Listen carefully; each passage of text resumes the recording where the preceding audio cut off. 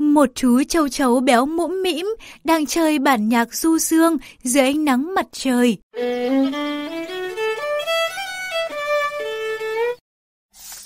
Chú kiến đỏ gầy còm thì miệt mài làm việc.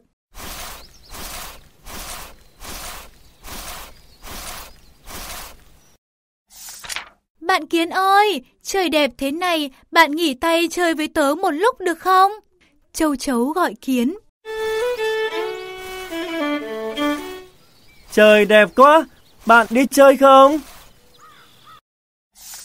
Bạn châu chấu cứ chơi đàn tiếp đi, mình phải mang thức ăn về tổ để tích trữ. Phòng những ngày mưa gió và mùa đông lạnh giá nữa. Kiến vừa trả lời châu chấu vừa tha mồi. Tớ phải mang đồ ăn về tích trữ đây bạn ạ. Ôi, bạn có thấy ánh nắng mặt trời không? Đang mùa hè đấy kiến ạ, mùa đông còn xa lắm. Châu chấu chỉ về hướng mặt trời nói. Ôi, đang mùa hè mà, mùa đông còn xa lắm. Kiến nghỉ một lát để trả lời châu chấu. Thức ăn bây giờ khan hiếm lắm, mùa đông sẽ đến nên phải tích trữ trước mới kịp bạn ạ. Nếu bạn không kiếm mồi thì sẽ bị đói đấy. Bạn phải tích trữ thức ăn trước, không sẽ bị đói đấy.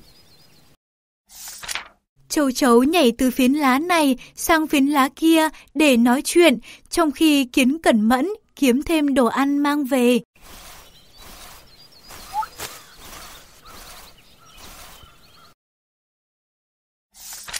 Mùa thu trôi qua, cả cánh đồng lúa chín vàng đã được thu hoạch hết.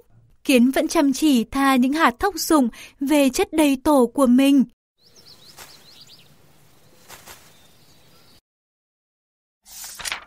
Mùa đông đến, mặt đất nứt nẻ, cây cảnh chơi trụi lá. Kiến ở trong tổ ấm áp, chế biến những đồ đã kiếm được để có bữa ăn no bụng.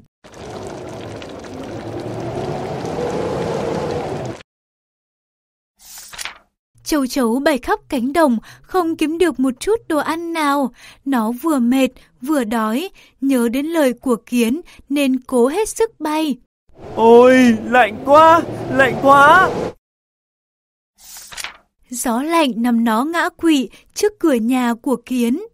Nghe tiếng động lạ, kiến mở cửa, thấy châu chấu, nó vội vàng đỡ bạn vào nhà.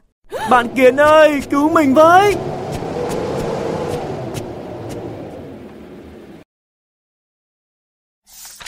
Chắc bạn châu chấu bị đói và lạnh quá rồi. Mình sẽ nấu một món thật ngon cho bạn ăn để cơ thể ấm lên.